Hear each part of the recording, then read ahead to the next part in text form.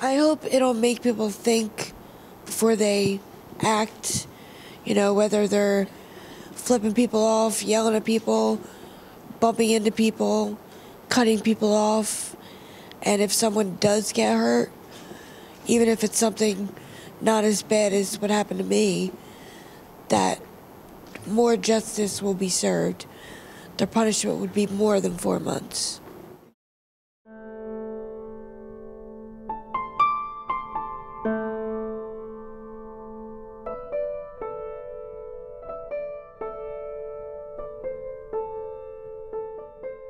Today was a wonderful day on so many levels. Um, the governor signed the Jessica Rogers Law, which is the bill to uh, create more serious penalties for road rage.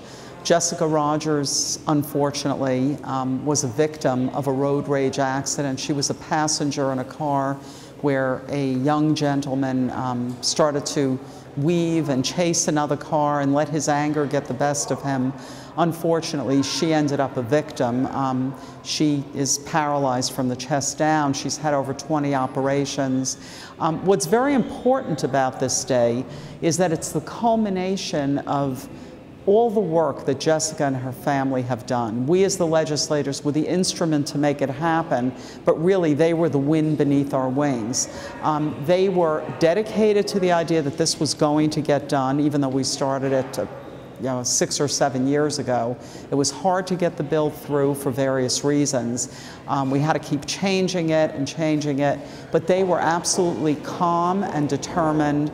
And for Jessica, now there is a law that bears her name um, anytime somebody is saved from an incident of road rage, anytime that it happens and somebody thinks twice about committing a road rage act, about chasing somebody on the road, anybody who thinks of Jessica, she will have accomplished something. And I have a feeling by the time she's old, older, she will be able to tick off many, many lives that have been saved, some of which she'll know about and some of which she won't know about as a result of her great work. She herself cannot be helped by this bill, but she can help others. She wanted to take a very bad situation and make it.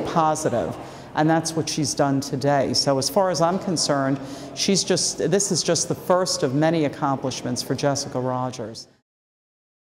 I just had some time uh, in my office with the Rogers family, and you know they have been completely committed since that time to strengthening the laws in this state so that people who engage in this type of conduct, essentially using a 3,000 pound weapon to uh, express their anger, uh, would be subject to much greater penalties. And so I, I want to commend Senator Baroni for starting the ball rolling on this. I want to commend Senator Greenstein, who is here, um, Assemblyman Benson, and I know Assemblyman DeAngelo, couldn't be here, but has been very involved in this as well. I want to commend them for um, working as hard as they've worked to make sure this legislation got to my desk. What this bill does is makes us, um, all of us, as well as judges, see road rage as a very serious crime. Unfortunately, in the case of the aggressor who hurt Jessica, he got a very light sentence. In this case, these crimes are now third and fourth degree crimes. If it's serious bodily injury, it's a third degree crime. If it's bodily injury, it's a fourth degree crime.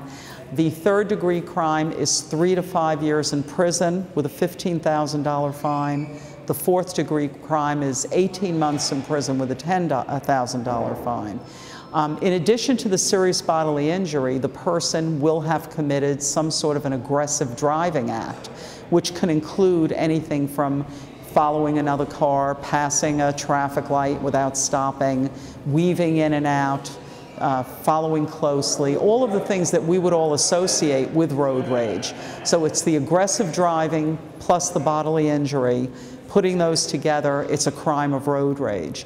And what we want is for judges and prosecutors and attorneys to understand that this is not a crime to take lightly. This is a serious crime.